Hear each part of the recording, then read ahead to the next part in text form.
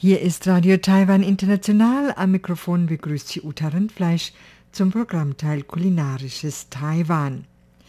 Liebe Hörerinnen und Hörer, bei großer Hitze hat man oft keinen Hunger und möchte nur etwas Leichtes essen.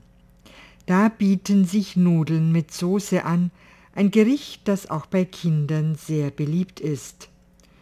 Bei diesem Gericht sind die Nudeln quasi der Körper, aber die Soße, das ist die Seele. Dabei sollten die Nudeln eine gewisse Stärke oder Breite haben, damit sie den Geschmack der Soße gut aufnehmen können. Die Soße sollte am besten einen sehr vielschichtigen Geschmack haben, der sowohl saure als auch süße und salzige Komponenten enthält. Als Begleitgemüse empfiehlt sich Gemüse, das relativ viel Wasser enthält, wie zum Beispiel Cornichons oder Tomaten. Heute will ich Ihnen vier verschiedene Nudeln mit Soße vorstellen. Zwei dieser Gerichte isst man am besten heiß, die anderen beiden kann man als kalte Nudeln essen, ähnlich wie sie beim Summer Cooling Festival 1913 in Beitow serviert wurden. Bei der Sesamsoße spielt Essig eine wichtige Rolle. Dunkler Essig, wie zum Beispiel Balsamico, hat einen feinen Duft, während Essig aus Klebreis zwar ausreichend sauer ist, aber nicht so herausragend wirkt. Hier bietet sich auch eine Mischung aus hellem und dunklem Essig an, wobei der Prozentsatz vom hellen Essig etwas größer sein darf. Die Soße japanischen Stils basiert auf einer Sojasauce mit Bonito. Sie wird mit Olivenöl, Honig, Zitrone sowie Apfel vermischt. Sie wirkt kühlend und ist recht appetitanregend. Soweit die Soßen für die kalten Nudeln. Die dritte Soße nimmt scharfe Bohnenpaste als Grundlage.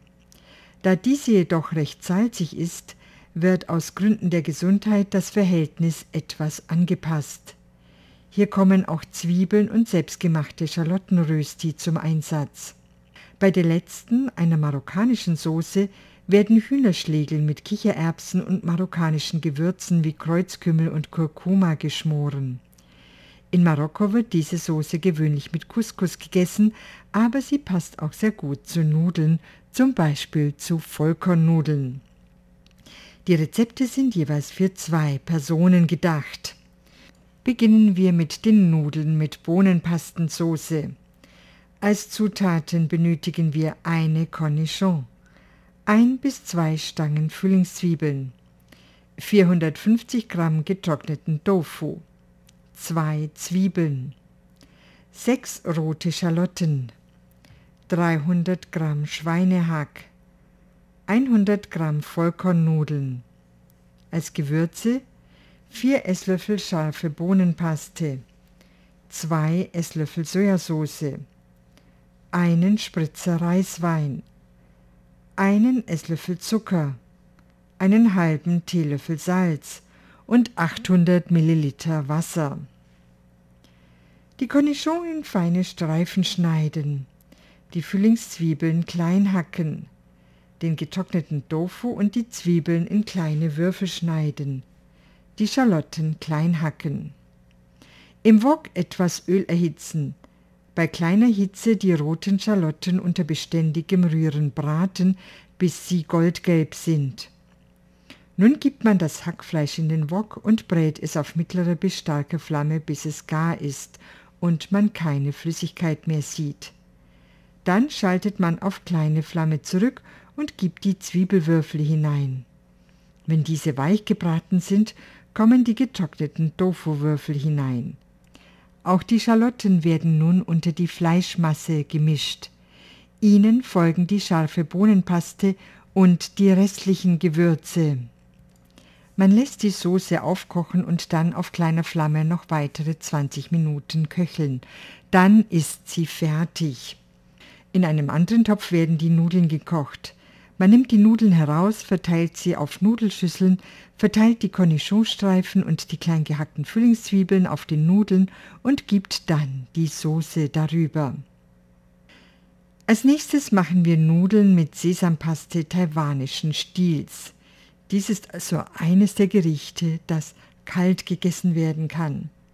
Auch hier benötigen wir eine Cornichon, eine kleine Karotte, ein Ei, 100 Gramm Vollkornnudeln und als Gewürze zwei Esslöffel Sesampaste, vier Esslöffel kaltes Wasser, einen Teelöffel klein gehackten Knoblauch, einen halben Teelöffel Sojasauce, einen Esslöffel Zucker, einen halben Teelöffel schwarzen Essig und einen Teelöffel Klebreisessig. Die Sesampaste mit dem Wasser anrühren und dann mit den übrigen Gewürzen vermischen. Die Cornichon und die Karotte in feine Streifen schneiden. Das Ei verkleppern und ein dünnes Omelett backen. Dieses ebenfalls in feine Streifen schneiden. In einem Topf Wasser zum Kochen bringen. Die Nudeln darin kochen. Wenn sie gar sind, auf die Nudelschüsseln verteilen und die Soße darüber streuen. Wer die Nudeln kalt essen will, der kann sie zunächst mit kaltem Wasser abbrausen, bevor man sie in die Nudelschüsseln gibt. Kommen wir nun zu den Nudeln mit Soße japanischen Stils. Dazu benötigen wir eine Zwiebel, eine Cornichon, ein Stück von der Jamswurzel, eine Tomate, ein in Wasser gekochtes Ei, 100 Gramm Reisnudeln. Zum Verzieren etwas weiße Sesamkörner und in feine Streifen geschnittene Algen. Für die Soße einen halben Apfel, drei Esslöffel Bonito-Sojasauce, einen Teelöffel Mirin, einen Esslöffel Zitronensaft, einen Teelöffel klein gehackte Zwiebel, einen halben Teelöffel Honig, einen Viertel Teelöffel Salz, eine Prise Pfeffer und drei Esslöffel Olivenöl. Die Zwiebel in Streifen schneiden und in Eiswasser einlegen. Die Algen in Wasser einweichen, dann kurz in kochendes Wasser geben. Die Cornichon in feine Streifen schneiden. Die Jamswurzel in kleine längliche Stücke schneiden. Die Tomate in Streifen schneiden. Das Ei vierteln. Den Apfel zu Mus reiben mit den anderen Soßenzutaten zu einer Soße japanischen Stils vermischen. Einen Topf mit Wasser aufsetzen und darin die breiten Reisnudeln kochen. Herausholen und auf die Nudelschüsseln verteilen. Die Zutaten darauf verteilen und die Soße darüber schütten. Mit den Sesamkörnern und den Algen verzieren. Zum Abschluss wollen wir nun noch etwas, wie vorher angekündigt, nicht chinesisches machen, nämlich Nudeln mit Soße marokkanischen Stils. Dazu benötigt man 65 Gramm Kichererbsen, zwei Zwiebeln, etwas Peperoni, zwei bis drei Zehen Knoblauch, ein Büschel Koriander, zwei Hühnerschlegel ohne Knochen, 100 Gramm Reisnudeln, als Gewürze eine Prise Salz, einen halben Teelöffel schwarze Pfefferkörner, einen Teelöffel Kreuzkümmel, einen Teelöffel Petersilie, ein Lorbeerblatt, einen Esslöffel Kurkuma, einen Spritzer Weißwein und 800 Milliliter Wasser. Die Kichererbsen zwei Stunden einweichen lassen. Sie können natürlich auch schon fertig gekochte Kichererbsen aus der Dose nehmen. Weichkochen. Wer einen Datum-Reiskochtopf hat, der kann in den Innentopf gerade so viel Wasser geben, dass die Kichererbsen überdeckt sind. In den Außentopf dann zwei Becher Wasser und einschalten. Wenn der Schalter hochspringt, sind die Kichererbsen fertig. Die Zwiebeln in Würfel schneiden die Peperoni quer in Streifen schneiden, die Knoblauchzehen und die Petersilie grob hacken. Die Hühnerschlägel mit Pfeffer und Salz einreiben und zehn Minuten marinieren. Eine flache Pfanne erhitzen, kein Öl hineingeben, sondern die Hühnerschlägel mit der Haut nach unten hineinlegen. Beim Braten wird Fett auslaufen. Dann umwenden und gar braten herausnehmen und bereitstellen. Die Zwiebelwürfel auf kleiner Flamme weich braten, dann den Knoblauch und die Peperoni dazugeben und kurz braten. Dann nacheinander den Kreuzkümmel, das Kurkumapulver, die Pfefferkörner und das Lorbeerblatt hineingeben. Dann kommen die Hühnerschlägel und die Kichererbsen dazu und das Ganze wird bei großer Hitze durchgemischt.